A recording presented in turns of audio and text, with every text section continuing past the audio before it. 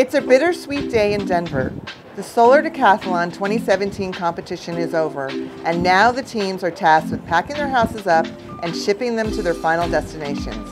However, some houses are staying in Denver.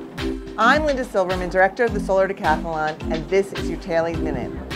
The competition ends today, and I couldn't be prouder of the teams and this experience. So, the teams will be packing up their houses and sending them to their final destinations. And where will they go? We have actually sold our home uh, to the City of Denver. The City of Denver was very interested in buying all the houses because they saw how much potential all the houses had and they wanted to use them to showcase new technologies, all the innovation, just to showcase what you can do with sustainability.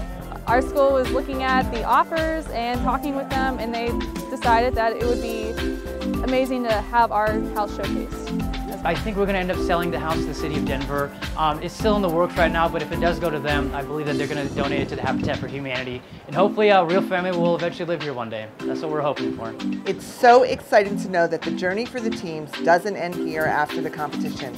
Their houses and their message will continue to live on and inspire the next generation of competitors. We hope it will be the, the next generation that takes over the, the project. We will continue elaborating the next ideas of and concept of how to make a more sustainable future. Again, this has truly been an amazing experience for me, the organizers, the students, and the universities involved. I'm really looking forward to the next Solar Decathlons, which will take place in China, Middle East, Latin America, Europe, and Africa.